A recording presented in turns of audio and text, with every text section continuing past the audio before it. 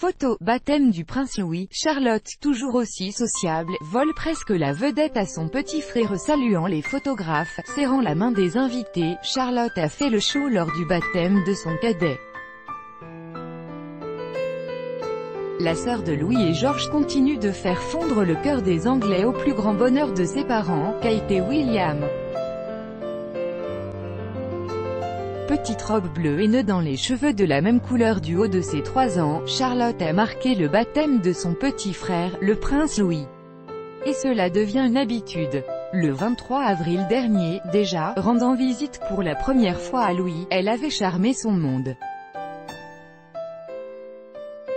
Elle avait salué la foule avec son bel air mutin, pas du tout impressionnée par le monde rassemblé devant la maternité. Charlotte n'est que quatrième sur la liste de succession au trône mais semble prête à prendre la première place dans le cœur de ses sujets.